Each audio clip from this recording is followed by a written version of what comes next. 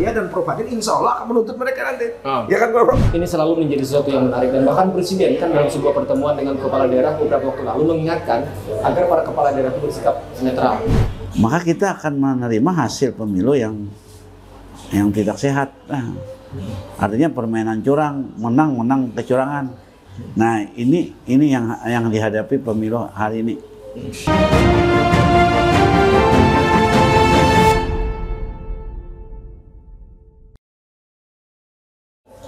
Assalamualaikum warahmatullahi wabarakatuh. Berjumpa kembali kita dalam ngopi ngobrol pinggiran akhir pekan diskusi yang diinisiasi oleh sejakrekam.com media online di Kalimantan Selatan masih juga dari Itme Cafe Jalan uh, Pramuka Kompleks Manda Banjarmasin yang hari ini kita bergeser sedikit biasanya di belakang tapi sekarang di sini karena ada uh, proses uh, rehab. Uh, kali ini di suasana kampanye bagaimana kemudian uh, tensi politik menjadi semakin ramai uh, dalam perbincangan publik. Ada banyak hal yang kemudian didiskusikan hari ini di ruang-ruang publik, baik di luar ruang maupun juga di media sosial. Ada soal bagaimana netralitas pejabat publik kepala daerah yang uh, lagi-lagi misalnya yang menyatakan uh, secara terbuka mendukung salah satu pasangan capres dan cawapres. Itu akan kita bahas seperti apa posisi hukumnya, kemudian bagaimana kaitannya, apakah uh, harus cuti atau seperti apa. Belum lagi misalnya ada uh, pemberitaan yang juga menarik bicara tentang uh, kampanye dalam suasana pilpres, penurun- penurunan videotron uh, pasangan capres 01 yang berada di uh, Jakarta Bekasi misalnya. Itu tentu juga menjadi sesuatu yang menarik untuk kita bahas. Belum lagi soal hal-hal lain yang kemudian itu membuat noise uh, pilpres uh, kita. Jadi tema kita dalam ekspedisi perubahan menyoal tentang bagaimana menjaga kewarasan dalam bernegara. Sudah hadir seperti biasa. Yang pertama ada uh, Guru Besar Universitas Lambung Mangkurat, ada Bapak Profesor Muhammad Ali Mujiat. Assalamualaikum Prof. Waalaikumsalam. Sehat hari ini. Alhamdulillah. Ah, jadi kita sehat. Sehat. Sehat. Sehat. kita kembali di di apa? Tetap di BKB, tapi tempatnya berbeda. Jadi settingnya agak sedikit berbeda, Pak Prof di belakangnya. Kemudian juga seperti biasa ada Bang Dr. Subhan Syarif. Assalamualaikum Bang Subhan. Waalaikumsalam warahmatullahi Sehat juga hari ini. Alhamdulillah. Ah, jadi walaupun Sehat meriang. Sehat walaupun kan? betul, ah, ah. karena beberapa hari ini hujan, Iya. kemudian Banjarmasin rob Nah, ah, Banjarmasin terkenal. tergenang, Ah, kemudian beberapa daerah kan di Kalsel ada juga. topik khusus mengenai Kita akan Banjarmasin. ah, kita karena beberapa minggu lalu kan kita membahas apa ah, tentang calap Ah, Ah, ah, kumuh dan segala macam. Nah, Itu kita akan bahas dalam edisi yang lain. Tapi hari ini kita bicara soal kan masih dalam ekspedisi perubahan, Subhan. ekspedisi perubahan bicara tentang bagaimana menjaga kewarasan dalam dalam bernegara, terutama ketika di hari-hari sekarang dalam suasana kampanye ada hal yang kira-kira dalam dalam pikiran kita itu sesuatu yang tidak elok, sesuatu yang uh, keluar dari dari etik misalnya soal pertama bagaimana netralitas penyelenggara negara, kemudian soal persaingan kompetisi kampanye yang rasa-rasanya itu juga tidak sehat. Nah, Jadi mungkin nanti yang lebih banyak Pak Prof karena kan Ah. ahlinya beliau kan tadi Ah. terkait dengan aturan. Cuma secara kita ini kan memang anggap lucu nih. Di, di apa se- di di pilpres ya terutama pilpres kali ini agak ada yang yang menarik lah sebenarnya. Kalau kita mengamati kelihatannya ini sebenarnya ada empat calon bang Rasidi.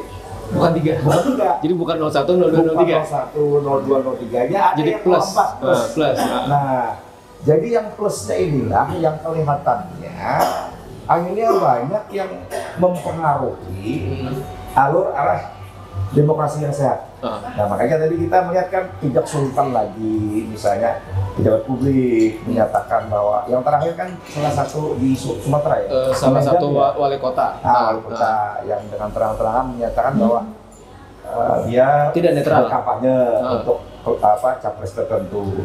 Kemudian dia menyatakan bahwa status ASN itu dia bukan ASN, ya karena dia tidak tidak tidak dapat pensiun. Ah. gitu kan.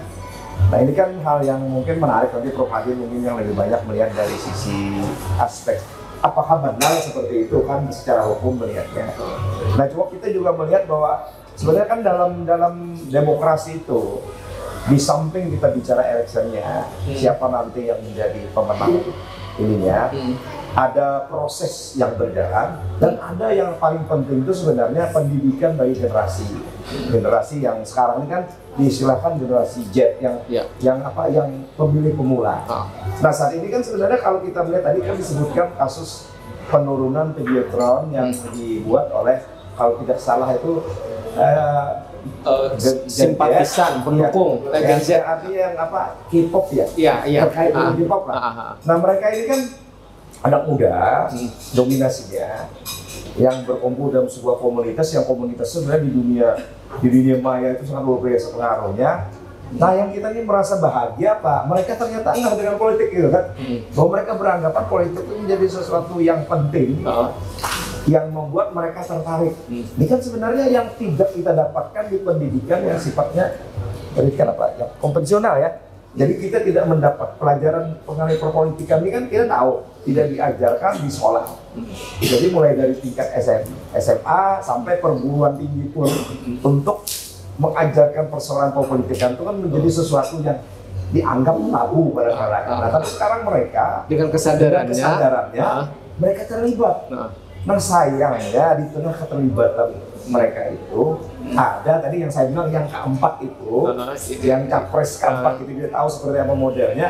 Yang capres keempat ini memain turut memainkan peran yang akhirnya menyebabkan apa yang ingin dilakukan mereka dalam pencerdasan perpolitikan. Karena mereka kan bagian pencerdasan perpolitikan Bang Rasidi Iya. karena mereka menurut yang saya coba cari ya datanya mereka memasang videotron yang mahal itu Hmm. dengan urunan. Hmm. Artinya mereka berinisiatif untuk mengumpulkan dana untuk memasang itu Jadi mereka bukan tim partai, bukan tim, tim partai, sukses, bukan bukan. tim sukses Ah. tapi ketertarikan mereka dan mereka beranggapan bahwa salah satu calon yang mereka tampilkan di video itu sesuai dengan pikiran mereka Ah. jadi mereka tertarik ini kan nilai tambah nih sebenarnya tapi kita agak aneh kenapa misalnya sesuatu yang mereka terlibat aktif dan berguna bagi masa depan bangsa kita nanti generasi muda kita nanti yang akan menjadi penerus penerus kita penerus pemimpin yang ada saat ini mereka sangat peduli mengenai itu dan mereka memilih maka mendukung itu karena kapasitas yang didukungnya dilihat dari tatanan yang memang objektif dan rasional lebih objektif dan lebih rasional daripada yang banyak kita dapati di, di orang yang ber- yang terjun ke politik. Langsung mereka lebih bisa rasional objektif. Nah harusnya inilah yang kita dukung karena di sini mereka inilah yang nanti akan mempengaruhi proses pemilihan ke depan yang bisa melawan apa yang saat ini jadi kita selalu hantu kita itu kan money politik, Iya. kecurangan segala macam. Iya, mereka kan akan menjadi motor penggerak untuk menghilangkan hal tersebut. Ah, Tapi sayangnya ternyata langkah mereka ini malah dihalangi dengan cara tadi itu. Jadi Nah, itu yang kira-kira mengusik kewarasan kita. ya artinya pemain keempat Hmm. atau ca- calon keempat yang Bayangan. di luar sistem ini, calon bayangan ini sangat merusak apa itu makna demokrasi dan apa itu tujuan daripada demokrasi. Ah. Nah, padahal eh, ceruk pemilih generasi milenial dan generasi Z kalau kita bicara di DPD Ya, daftar pemilih tetap 56 itu mencapai 56 persen Nah, lebih. 56% Ah, nah, lebih. kita berharap bagaimana kesadaran politik terbangun. Iya. Dan ini ini luar biasa loh Bang Rasidi. Ah. Jadi ini pilpres Ah. yang sangat luar biasa, Ah. di mana generasi yang pemula Ah. itu terlibat aktif Ah. dan mereka bisa bersikap objektif dan rasional. Hmm. Ini yang tidak didapatkan dalam kita kita generasi kita ya, Hmm. kita tidak mendapatkan dalam proses uh, pendidikan perpolitikan baik itu secara konvensional, Hmm. artinya di, di sekolah, pendidikan sekolah segala macam, dan secara kita di lapangannya melihat Ah. menjalaninya. Menjalani. Kita tidak mendapatkan dan diajarkan kita bagaimana cara menang, Ah. bagaimana menghalalkan cara supaya menang, Ah. Kemudian berbagi-bagi macam-macam bingkisan Demi untuk menang. demi untuk menang. Tapi ini mereka luar biasa. Nah, oke, sekarang saya ke Pak Prof Adin. Pak Prof, eh, kita bergeser soal apa netralitas kepala daerah. Kan ini selalu menjadi sesuatu yang menarik dan bahkan presiden kan dalam sebuah pertemuan dengan kepala daerah beberapa waktu lalu mengingatkan agar para kepala daerah itu bersikap netral. Nah, sesungguhnya kalau bicara aturan kan ada ruang bagi kepala daerah jika dia menjadi pendukung, dia menjadi tim sukses, dia menjadi pemenangan untuk kemudian melakukan cuti. Artinya ketidaknetralan itu bisa dilakukan pada saat dia mengambil cuti. Tetapi bukan kemudian dengan alasan dia bukan ASN, ASN kan PNS dan P3K, bukan karena itu kemudian dia secara terbuka menyatakan keberpihakan mendukung sesuatu misalnya. Itu dalam perspektif hukum Ya. Jadi kan pemilu pemilu ini kan intinya tuh per election, per per, Ah, iya, iya. per election itu intinya. Jadi kalau bersaing kompetitif itu sehat, ya kan? Bersaing sehat. Masalahnya pesaing-pesaing ini kan pada um- yang sering terjadi selama ini dalam sejarah pemilu berlaku curang. Nah, beberapa kali pemilu yang kita lakukan kecurangan itu dilakukan oleh kontes, kontestan.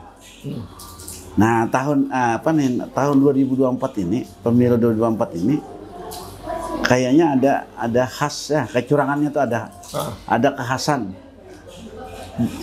tidak didominasi oleh kontestan Ah, pasti ada ada pihak lain gitu kan di pinggir Pihak- lapangan. ah ya, ya pinggir lap- di pinggir lapangan ya kan Iya. Di pinggir Nah, lapangan yang pinggir amat. lapangan. Nah, jadi karena karena itu karena mungkin lah kita tahu semua kan bahwa pak pesertanya pesertanya ini kan peserta pemilunya ini ada ada hubungan dengan kekuasaan. Mm. Dinasti. Nah, dinasti. Jadi salah satu kontestan ini menggunakan alat kekuasaan. Nah, di mana-mana di dunia ini kalau alat kekuasaan digunakan untuk ah, apa namanya yang per election tadi kan Ah. hancur kan? Hancur.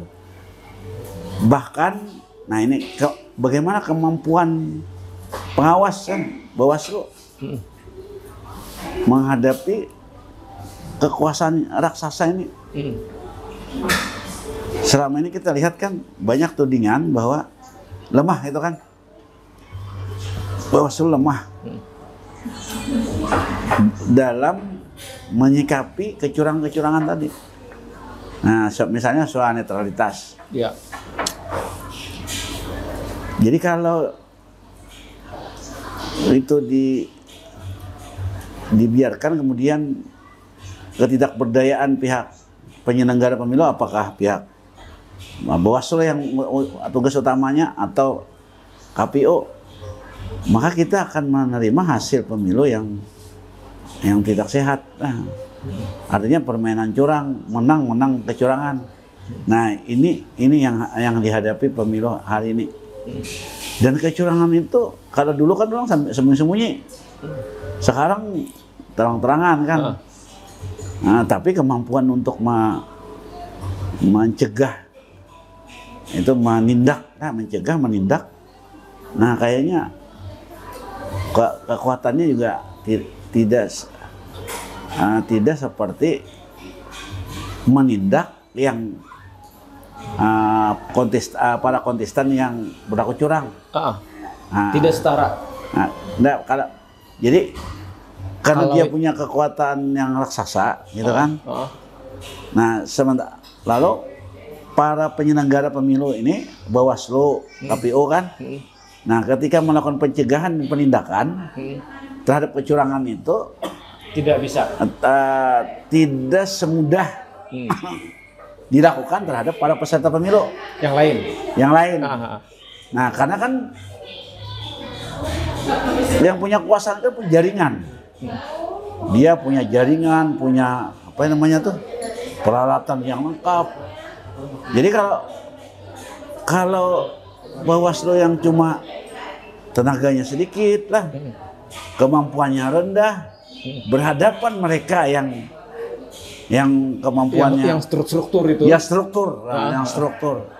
Kalau kalau si apa namanya? Ah, itu men- menyebut seperti anu web web web government nah. Hmm. Ah, laba-laba seperti laba, anu sarang laba-laba. Jadi pemerintahan itu kan jaring-jaringnya kan mulai atas sampai ke dasar kan. Dia kalau men- melakukan perintah jalan kan Ah, jalan la- lain swasta. Nah, perintah itu bisa aja di tengah jalan putus. Ini kalau pemerintahan ini kena, kena kekuatannya keras. Nah, yang dihadapi hari ini, ini, nah kecurangan, kecurangan di sini. Nah, itu yang yang sekarang kita perhatikan kalau karena masuk pada dunia kekuasaan, nah, soal netralitas. ah. Jadi ada kecurangan, yang dilakukan oleh yang sebetulnya mere- mereka bersikap netral. Nah, lalu ma- ikut bermain. Nah, ibarat wasit itu kan nah, mempengaruhi jalannya pertandingan lah kan. Iya. Nah, ini ini masalahnya yang dihadapi hari ini. Ya Pak Prof, kalau ketentuan kepala daerah misalnya, kepala daerah eh, kan harus netral tadi misalnya.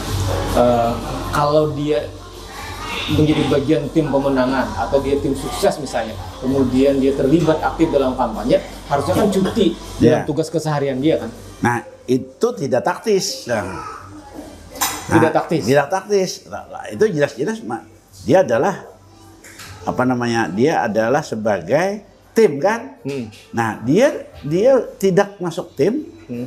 Nah, tapi bermain. Hmm. Nah, in- ini yang terjadi hari ini. Nah, kalau alasannya misalnya kepala daerah itu kan pejabat politik, dia dipilih oleh masyarakat, dia bukan ASN. Ya. Nah, yang di, yang di, yang di- yang netral yang harus netral itu kan ASN katanya misalnya.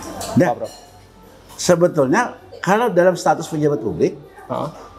Dia kan tidak boleh tidak netral. Hmm. Nah, kalau kalau mau ikut dalam proses Mendukung. mendukung maka dia dicutikan dulu dari di apa nonaktifkan.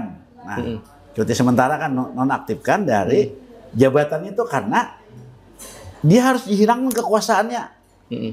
Kekuasaan karena kan dengan kekuasaan itu kan biasa memerintahkan, bisa mendapatkan sarana, bisa Heeh. Nah, Karena jadi dia punya relasi kuasa. iya ada bahkan bisa mengganti orang yang tidak mau lah. Iya. Heeh. Nah contoh misalnya lah, ini yang yang santer kita masih kita lihat lah kan, karena potensi LP itu eh, apa cukup cukup suara lumayan lah, Hmm. Nah, maka maka kan di diperhatikannya semua Lembaga pemasaran. lembaga-lembaga ah, dengan mudah kan cara di dilakukan melakukan kegiatan berapa jumlahnya sekian. Hmm.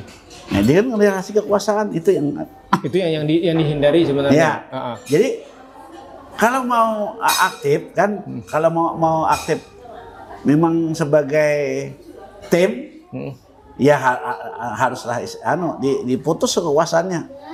Tidak ada punya kuasanya boleh saja kan, Hmm. nggak dilarang. Ya karena bukan ASN tadi kan. Iya, iya. Heeh. Nah, tapi itu tidak taktis bagi mereka kan. Hmm.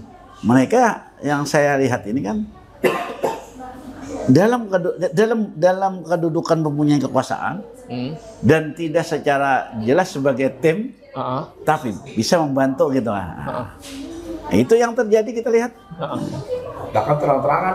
Nah, Nah, nah sekarang saya ke Bang Subhan. Bang, eh, tadi kata Pak Prof Hadin, kita kan berharap betul pada pengawas kan, badan Bawaslu sebagai badan pengawas pemilu. Dan kira-kira yang menjadi wasit dalam pertandingan ini, KPU sebagai penyelenggara pertandingan, kemudian Bawaslu sebagai wasitnya, para kontestan sebagai para pemainnya misalnya. Nah, artinya harapan yang sesungguhnya ada pada Bawaslu. Tapi ketika harapan kepada Bawaslu juga tidak bisa berbuat banyak dalam tanda petik, kan sesungguhnya harusnya ada standar umum yang kita gunakan kan bang.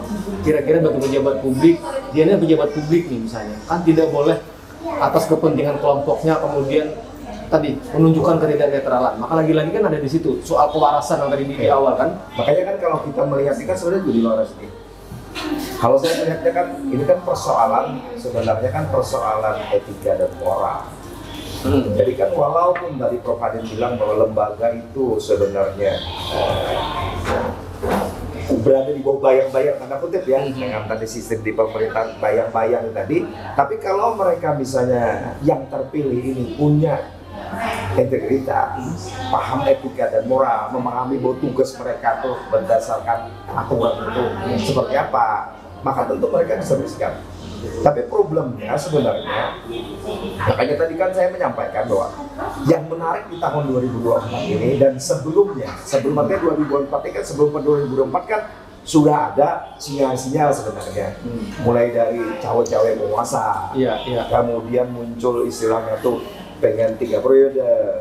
Jadi isu-isu itu kan sebenarnya sudah terlihat bahwa ini ada yang lain di luar daripada yang bertiga ini yang memainkan peran yang luar biasa. Hmm. Sampai kan akhirnya ya kita lihat kan mulai MK misalnya Hmm. dan lain sebagainya. Hmm. Jadi kan secara mendasar itu inilah yang sebenarnya menjadi kekecewaan kita itu kan. Kekecewaan kita bahwa sebenarnya yang mestinya menjadi ujung tombak untuk bisa mengatur ini bisa netral. Tapi ternyata kan malahan membuat skenario yang menjadikan semua ini ujungnya tidak mungkin untuk menjadi netral. Kenapa? Jadi kita bayangkan uh, bayangkan tidak mungkin. Sekarang kalau misalnya ini sudah fakta berbicara, misalnya nggak usah susah.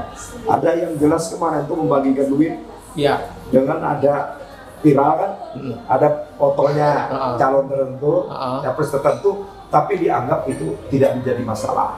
Karena ada yang tanda kutip ya, yang mengaku bahwa dia yang melakukan sumbangan Ah, segala macam Duitnya dari dia. duitnya dari dia. Padahal kan indikasi itu kan sebenarnya kita yang yang yang apa sebagai intelektual yang Hmm. bisa menganalisis, memahami bahwa tidak seperti itu.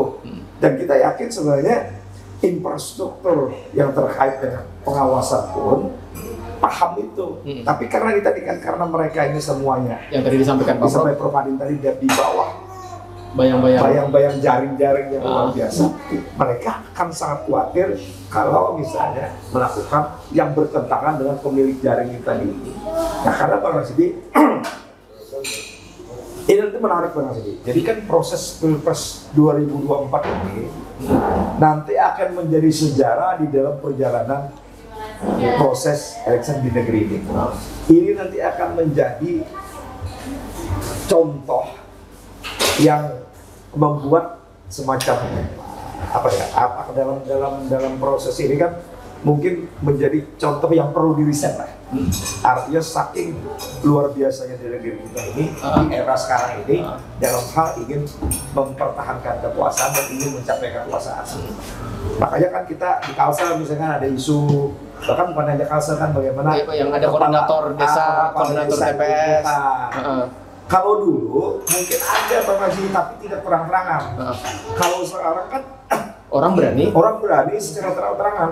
Makanya kan kita yang mendengar viral yang apa di di medsos dan mengenai salah satu kepala daerah di Sumatera di apa itu tadi Ah, yang mengumpulkan yang bukan yang mengumpulkan ada ada yang mengumpulkan kepala desa, habis Nah. itu ada juga yang, yang diduga nih dalam tanda petik kan Ah. karena masih diduga nih. Ya. Eh, forum Bimda, ada Ya. bupati, ada Nah, ininya. ada Ah, yang rekaman tuh kan rekaman suara. Nah, artinya seratus ribu Ya. habis ah, itu kita harus menangkan capres yang ini ah.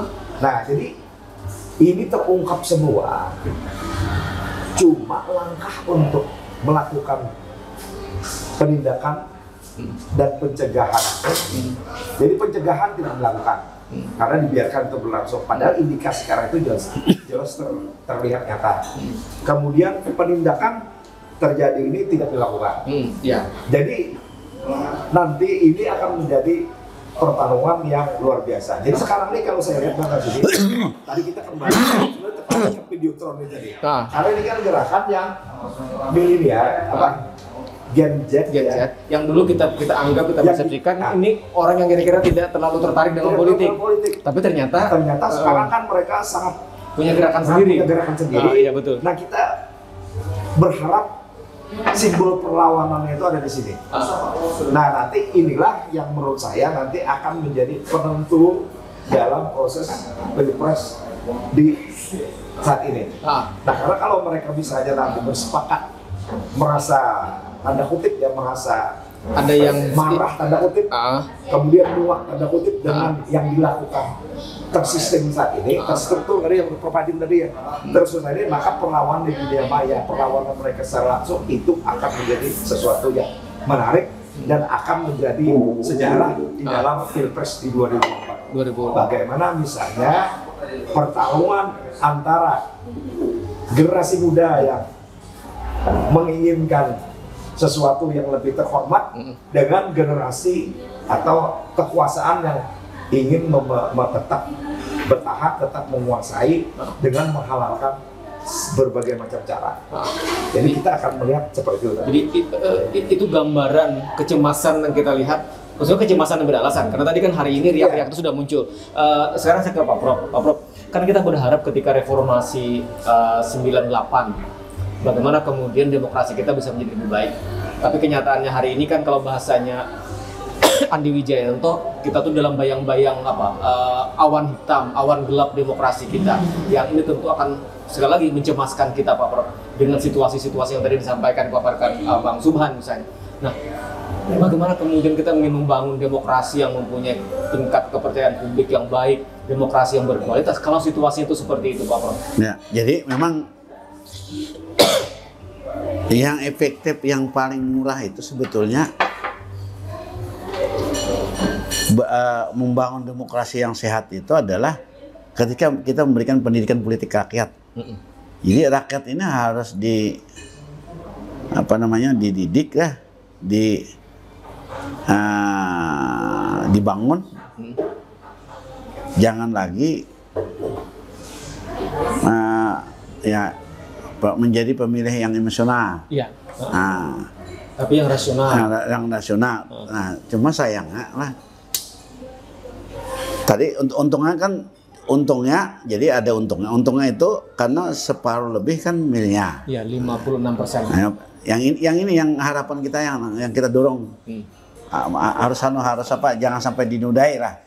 Ah, jangan jangan sampai. Nah, di perlu yang yang apa namanya yang rentan, nah, yang misalnya pemilih rentan lah, pemilih rentan itu banyak yang bisa di- dipengaruhi kan jumlahnya juga tidak sedikit kan. Iya. Nah, in- ini yang perlu semestinya yang jadi sasaran anu, lah sasaran pendidikan politik yang dilakukan pendidikan politik. Ya, tak terus-terus lah. Pokoknya jangan jemu-jemunya henti-hentinya melakukan penyadaran lah. Mm. Penyadaran agar mereka se- se- secara sadar dalam proses politik itu menyadari bahwa mereka betapa pentingnya arti sebuah suara. Ah, ah. Nah, ini, ini yang perlu dijaga. Jadi- Jadi ke- hasil apa hasil milenial kita yang uh, keliling survei itu, jadi ada ada sekitar 30% yang berharap kucuran. Oh, politik Nah, uang. Politik uang. Hmm. Nah, jadi dari yang 30% inilah yang sebenarnya yang yang rentan. rentan. Rentan. Mm. Dan mereka akan menjadi pemilih aktif ketika mereka mendapatkan jasa seperti itu tadi. Kan Bahkan kita lah per- pernah di suatu tempat yang jauh pelosok kayaknya yang itu soal biasa gitu kan soal biasa mereka ka- mereka kan meninggalkan apa kerjaan katanya pada hari hanya tuh Ya, kan satu hari. nah satu hari nah ya dikasih apalah ya katanya kan Hmm. nah sepertinya dia meng- nah ini yang perlu cari, cari jalan keluar nah jadi kita juga jangan sampai mereka menjadi tidak bisa makan kan. Kar- karena soal demokrasi Ah, ah. Nah ini Heeh. ini juga jadi Karena pikiran salah satu problem demokrasi kita yang sehat tadi karena tingkat kesejahteraan kita yang masih rendah. iya Di satu sisi kesadaran politik tidak bagus, pada sisi lain kesejahteraan kita juga masih bermasalah. dan dan Pendidikan. dan ini yang di anu peluang yang di yang dimasukinya ah. oleh pemain-pemain curang kan Iya. nah pemain curang ini kan se- setiap saat mendrop ya kan Hmm. Dan sekarang Pak Prof, bansos itu menjadi sesuatu yang tanda kutip bisa digunakan. Nah itulah kita kita semestinya lah ya karena kita tidak ada larangan lah Iya.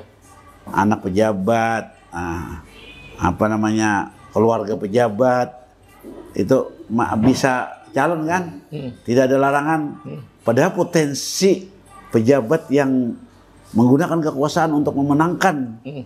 itu ada kan setiap anak ada Hmm. dan dia akan mengarahkan se- se- segala daya upayanya. Nah, kewenangan-kewenangan itulah ya yang diha- yang hari ini dihadapi. Ah, secara hukum kan tidak bisa melarang orang karena itu kan hak Iya, setiap betul. orang kan Nah. Pak Prof. Tetapi dalam tadi dari sisi et- etik kan ada ada potensi untuk kemudian menyalahgunakan kekuasaan. Artinya kemudian ruangnya hanya di, ada di ruang etik sesungguhnya kalau orang mau patuh kan. Nah, kemudian di- disambut lagi ma- ah, situasi masyarakat kita tadi yang Nah, jadi klub kan Iya. Yang datang Jadi satu. Ah, ya, ah. ya, yang datangnya orang pina harbuta Menghalalkan segala cara lah. yang menerimanya juga siap gitu kan. Hmm. Nah, ini ini persoalan persoalan besar Ma, anu, bangsa kita hari ini kan. Hmm. Nah, untungnya tadi kan masih ada separuh lebih yang milenial. Hmm. Kita harapkan bisa mewarnai demokrasi kita di 2024. Iya. Jadi ini akan pertaruhan ketika ceruk irisan pemilih rasional yang kira-kira nih kita berharap itu pemilih rasional kan Iya. Bang dengan angka 56% itu. Ini kan akan menjadi pertaruhan. Setelah 14 Februari kita akan melihat Ya. mana yang kemudian dominan. Apakah kemudian pendidikan politik yang kita jalankan tadi ketidaknormalan politik dan demokrasi kita itu turut kemudian me- apa mempengaruhi uh, alam pandangan mereka kan seperti itu. Dek. Nah, yang kita sepakat ya kata Pak Prof. Harus ada pendidikan politik yang kita lakukan. Tapi pada sisi yang lain ada tontonan yang dilakukan para elit yang tidak yang tidak pas dengan pendidikan politik yang kita lakukan. Misalnya tadi soal etika yang ditabrak dan segala Iya. macam. Ini kan kemudian memperburuk wajah demokrasi kita kan, Bang. Makanya Bang Rasi, kita memang kan seperti ini. Kalau kita misalnya melihat kondisi di, di, di 2004 ini prosesnya, artinya PR untuk melakukan pembenahan di proses 2010 menuju ke 2029 itu akan menjadi sesuatu yang luar biasa. Beratnya kalau yang menjadi pemenang ini adalah mereka yang menghalalkan segala cara untuk menang. Pertaruhannya seperti itu.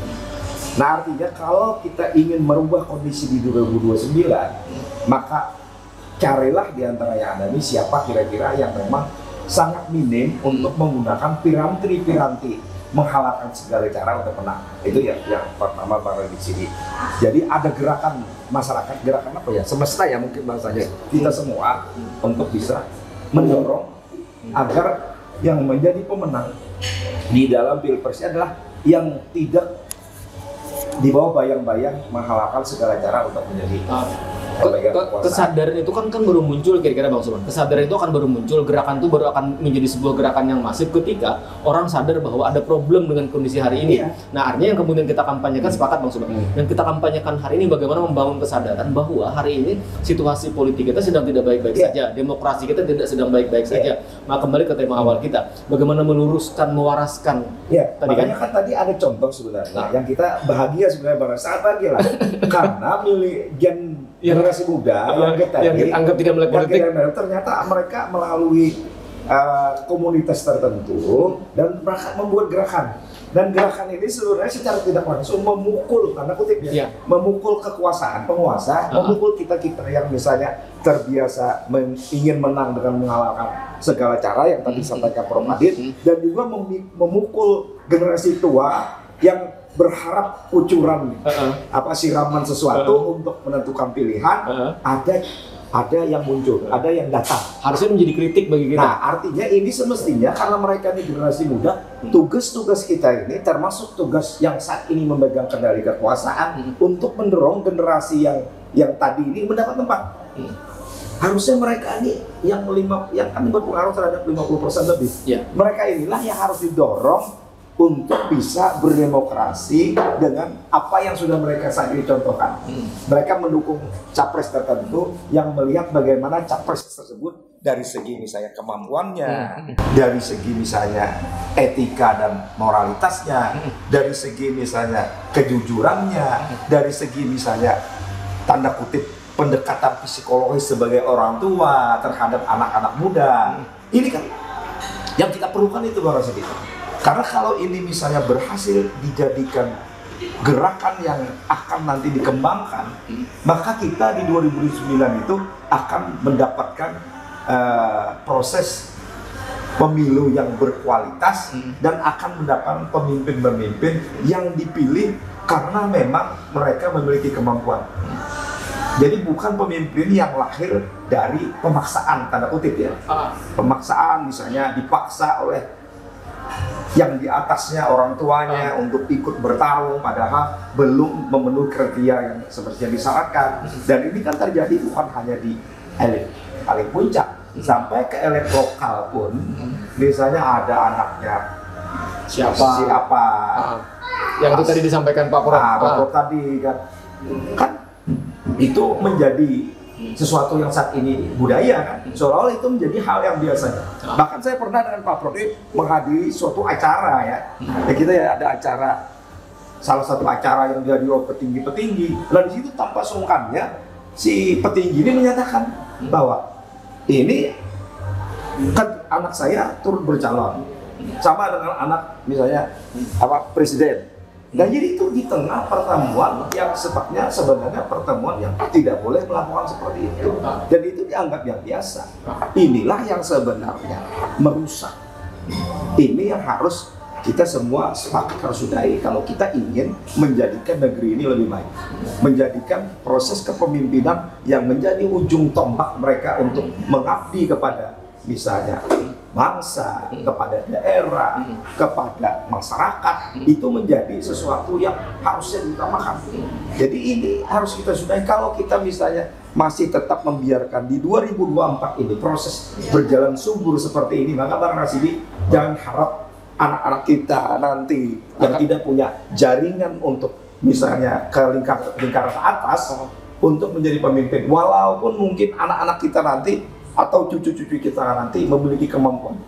Jangan berharap kita. Oh. karena inilah yang sebenarnya kenapa dulu di 98 menjadi sesuatu yang dianggap ditolak? Karena men- begitu lamanya misalnya dinastinya di 98 Pak apa kita anggap Pak Harto lah pada saat itu begitu lamanya berkuasa dianggap menjadi sumber masalah yang menghambat demokrasi. Ah. tapi yang sekarang ini kan malah itu menjadi sesuatu yang Kita kembali. biasa Ah, dan ini kalau kita biarkan ini, kita khawatir nanti pada saat di ke depan ini terjadi lagi situasi seperti itu yang tidak boleh. 98. Ah, Oke, terakhir saya ke Pak Prof. Pak Prof, ini kan belum lagi kita bicara soal bagaimana membangun kesadaran politik soal pilihan berbasiskan gagasan misalnya. Kita masih bicara dalam tataran aturan, bicara tentang ketentuan misalnya. Pemilu ini kan sebagai sebuah pertandingan sudah ada aturannya, ada undang-undang kata Pak Prof kan pemilu sudah dipagari dengan aturan. Tapi di balik aturan kan ada etik yang juga kemudian hari ini rasa-rasanya itu ter- tercederai di situ. Nah ini yang kemudian hari ini kita perdebatkan, itu yang kemudian kita persoalkan dalam rangka memastikan bahwa semua itu harus taat, penyelenggara harus taat, pemain harus taat, kemudian peng- penguasa elit juga harus taat mematuhi ketentuan yang sudah kita sepakati agar lagi-lagi yang kita cemaskan, masukan cemaskan itu tidak terjadi Pak Prof. Karena kan akan menjadi pertaruhan di 2024. Jadi kalau kita lihat, nah pemain-pemainnya kan pemain lama, ah, Iya. baju baru, pemain-pemain kan Berulang. baju baru itu maksudnya orangnya kan di, tapi di balik itu kan yang memainkan ini kan yang itu itu juga ya. Tidak ada pendatang-pendatang, tidak ada golongan masyarakat umum Hmm. yang memiliki kualitas kepemimpinan, nah ke kompetensi yang bisa bersaing karena soal pendanaan. Hmm. Nah, ini yang menjadikan tidak sehat. Hmm. Nah, jadi tidak sehat. Kayak berulang katakan bahwa pemilu ini bagaikan sebuah kapital kan itu kan.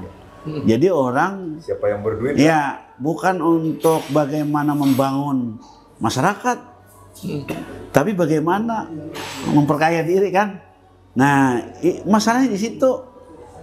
Jadi kita melihat ini ya, melihat pemilunya bu- buka- bukan sebuah sebuah bangunan suci gitu kan. Iya. Bukan sebuah bangunan suci yang jangan dicederai. Tapi melihat ini kue yang yang berebut untuk di Iya, dinikmati. dinikmati. Ya. Ah, jadi itu itu itu, itu Kue kepuasan. situasinya, itu problemnya. Ya, problemnya. Ah. Ini masalahnya sekarang. Ah, ah. Oke, baik terima kasih. Jadi sebelum ini Bang Rasidi Ah. mungkin kita seperti inilah. Ada hal mendasar ya Pak Prof ya. Kayak kita kita ini kan sebenarnya kayak kami dengan Pak Prof terutama ini kan sebenarnya sudah eranya itu kan sudah di ujung lah. Kita kan tak mungkin lah ibaratnya untuk kembali ke masa ikut serta dan sebagainya lah. Artinya berebut kekuasaan itu kan bukan di dalam ini kita. Hmm. Tapi kami ini kan sebenarnya ingin menyampaikan kepada semuanya. Ini harus kita sudahi Hmm.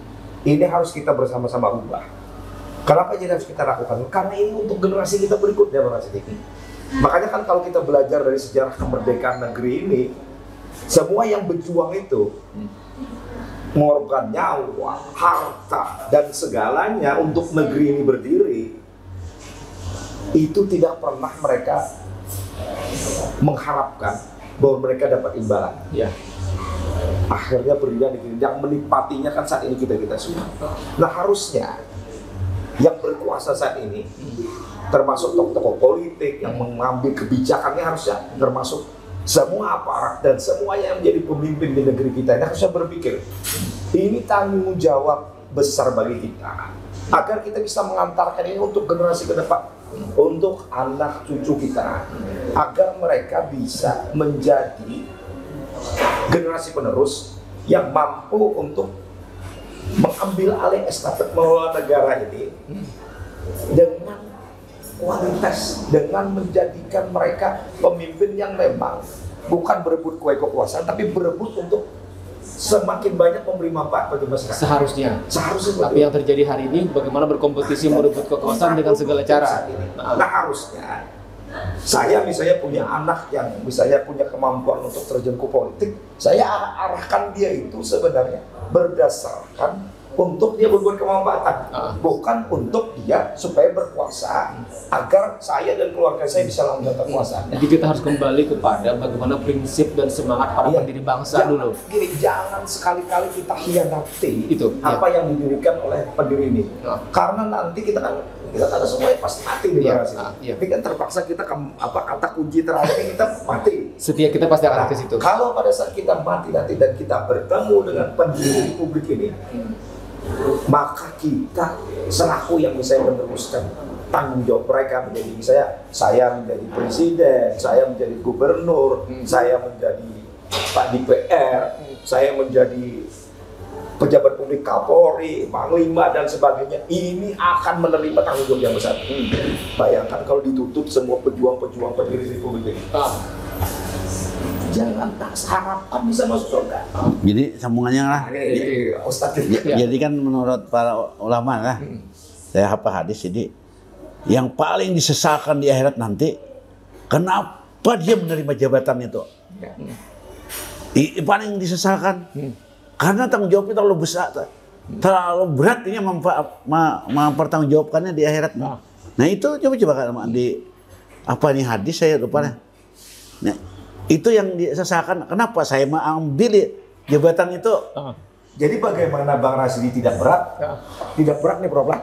Pertama yang menuntut itu yang mendirikan republik ini, yang membuat mereka bisa berkuasa. Itu menuntut kenapa disalahgunakan? Yang kedua, generasi berikutnya kenapa kami diajarkan dengan politik yang tidak benar? Kenapa kami diajarkan dengan kalau ingin mencapai kekuasaan, kami harus menggunakan segala cara, menggunakan money politik, menggunakan kecurangan dan sebagainya untuk menjadi pemenang.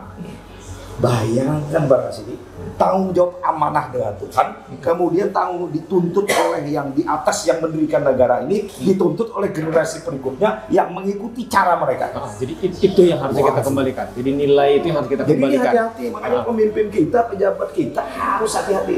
Karena saya dan Prof. Adin insya Allah akan menuntut mereka nanti. Ah. Ya kan Prof? Ya, nah, karena kita butuh pemimpin, maka pemimpin harus kembali kepada tadi. Bagaimana tujuan awal Iya, berbangsa kalau saya. Bang ini kalau kita kita nih habis umur nanti, kita kan sudah mencoba menyampaikan. Iya. Kalau mereka seperti itu, maka kita akan bertemu dengan Tuhan, bro. kita akan tuntut mereka. Ah, oke. Karena mereka menghancurkan. Ah, jadi it- itu setidaknya menjadi bagian apa uh, upaya ikhtiar dari apa ngopi kita ini Iya. untuk mengingatkan betapa besar yang tadi kata Pak Prof kan tanggung jawab kepemimpinan. Jangan kemudian orang berkompetisi dengan segala cara melakukan untuk bisa menang, kemudian dia lupa bagaimana pertanggungjawaban dengan kepemimpinan. Ya. Itu yang kira-kira harus kita ingatkan. itu. Oke baik terima kasih Pak Prof Hadin, terima kasih Ya. Bang Subhan Sarip. Demikian tugas sudah kebersamaan kita dalam ngopi kali ini. Terima kasih dan assalamualaikum warahmatullahi wabarakatuh. Waalaikumsalam.